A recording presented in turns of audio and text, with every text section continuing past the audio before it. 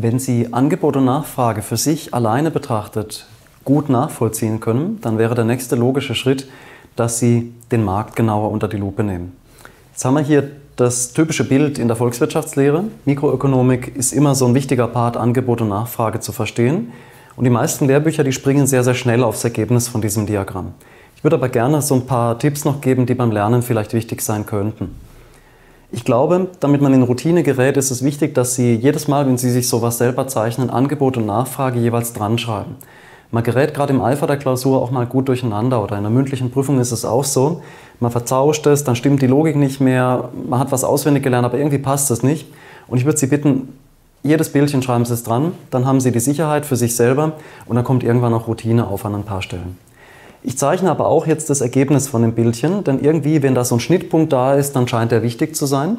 Das ist auch so der heilige Gral der VWL in diesem Bereich, nämlich dass wir sagen, irgendwo kommt doch jeder Markt hoffentlich oder die meisten zu einem Gleichgewicht. Und man könnte sagen, diese Menge, die ich jetzt hier unten auf der x-Achse skizziere, die bezeichnen wir immer mit einem Sternchen. Das ist sozusagen das Optimum in der VWL. Ich erfinde jetzt einfach eine Zahl. Angenommen, die optimale Menge, die sich auf diesem Markt ergibt, wäre 100 dann heißt das hier, diese Menge ist markträumend. So ist der Fachbegriff.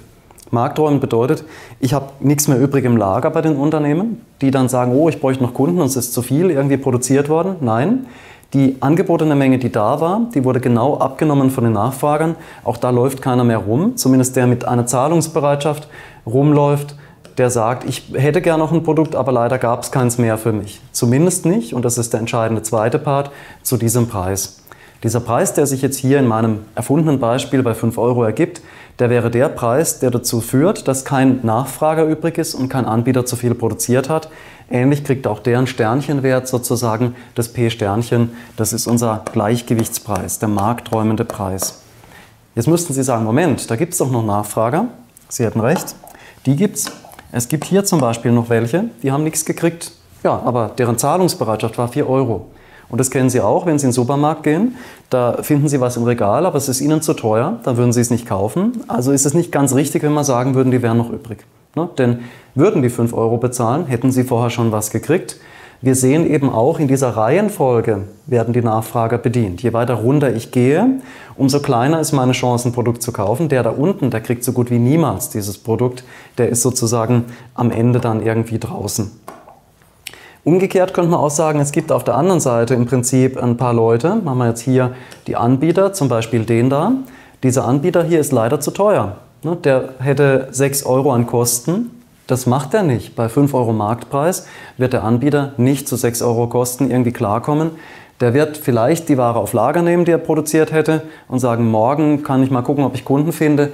Aber am heutigen Tag wird er sagen, dauerhaft produziere ich so gar nicht, wenn sich der Markt nicht ändert. Das ist so zunächst mal das Erste, diese Grundtendenz, die man da rausholen kann. All die Dinge, die Sie wissen über Angebot und Nachfrage, die gibt es hier immer noch. Also wenn ich jetzt die Nachfrage nach rechts verschiebe, das mache ich nur dann, wenn ich Ursachen dafür habe, aber wenn ich sie nach rechts verschiebe, kann ich mir angucken, was hier dann passiert. Aber vor allem bräuchten wir einen Grund. So könnte eine mögliche Aufgabe eben derart sein, dass man sie fragt, naja, simulieren Sie mal, was würde denn passieren, wenn jetzt mehr Nachfrager da wären dann würden Sie hier diese Nachfrage nach rechts verschieben. Wir machen das mal gemeinsam. Und vielleicht eben so eine leichte blaue Verschiebung. Ich glaube, so hatten wir es auch mal im anderen Lernvideo. Dann sehen Sie, ah ja, jetzt kommen wir schon so langsam in die Reichweite, wo die Anbieter eben auch im oberen Bereich bedient werden. Denn dieses neue Marktgleichgewicht, was jetzt entsteht, dieser neue Gleichgewichtspunkt, der liegt ja weiter rechts.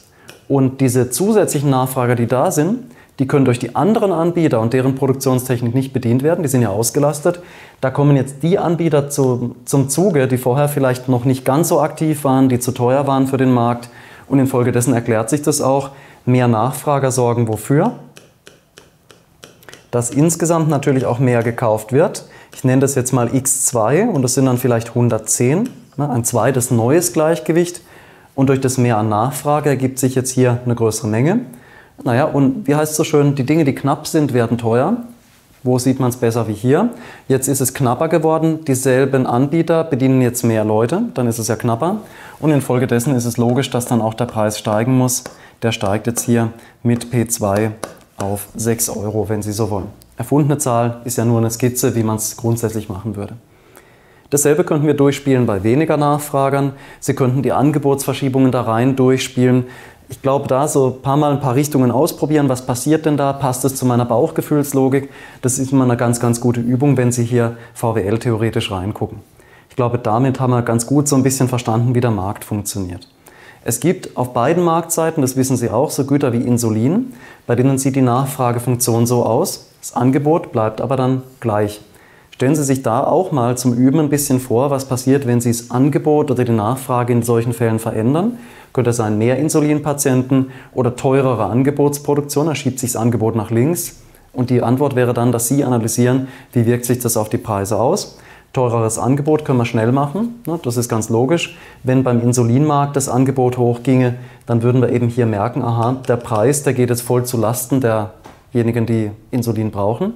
Mit anderen Worten, die Krankenkassen als System verteilen dann diese Kosten bei den Nachfragern irgendwann einmal durch. Dasselbe würde bei einer Corona-Impfung übrigens auch passieren, wenn da die Produktionstechnik komplizierter werden würde. Jetzt gucken wir uns noch einen anderen Markt an, denn wenn das jetzt hier quasi die Nachfrage war und das Angebot 1 und das Angebot 2, könnte es ja auch mal sein, dass das Angebot im Prinzip ähm, vertikal dasteht. Also so ein Angebot gibt es auch. Das wäre jetzt sozusagen unser Angebot nach Immobilien oder von Immobilien. Denn Immobilien sind so, dass zu einem festen Zeitpunkt eine gewisse Menge da ist. So wie das Insulin feste Menge gebraucht wird, ist hier feste Menge da.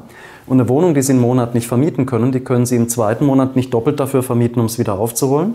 Das heißt, hier haben Sie einen festen Zeitpunkt, an dem alles weg muss. Das wäre bei verderblichen Lebensmitteln dasselbe. Nachfrage dazu.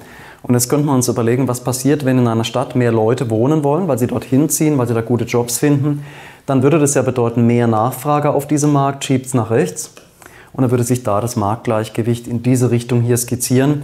Wir haben auf der Preisachse, auf dieser linken, die Sie hier sich vordenken können, auf der Preisachse eine Preiserhöhung. Oh Wunder, wiederum gilt, wenn es knapp ist, dieselbe Menge an Immobilien, da streiten sich jetzt mehr Nachfrager darum, dann wird es leider teurer. Das mag uns in der Realität gefallen oder nicht. Leider ist es eben der Effekt, der auf den Märkten entsteht. Eine politische Meinung haben wir ja in einem theoretischen Fach wie der VWL dazu nicht. Natürlich haben wir eine persönliche Meinung, ob uns das gefallen kann.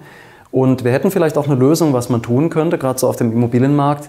Diese Lösung ist natürlich an der Tafel und im theoretischen Raum leicht gedacht.